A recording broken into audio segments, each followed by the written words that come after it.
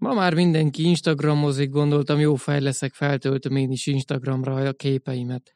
Regisztráltam, és kiderült, hogy PC-ről nem lehet feltölteni.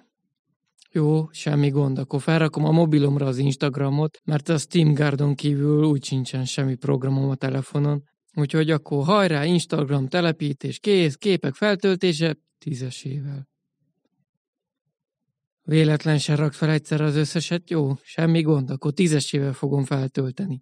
Eddig, eddig megbocsátom neki, nincsen PC-s feltöltés, meg azt is, hogy tízesével kell feltölteni a képeket. De azt nem fogom megbocsátani az Instagramnak, hogy fogja a képeimet, és kockára vágja. Mintha a 98-at írnánk, és mindenkinek még kocka monitorja lenne.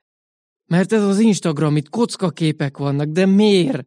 Á, mindegy, most már azt így hagyom. De valószínűleg nem fogok azon erőlködni, hogy átszabjam az összes rohadt rajzomat, hogy Instagramon jól mutasson. Ne hallgassatok rádiót.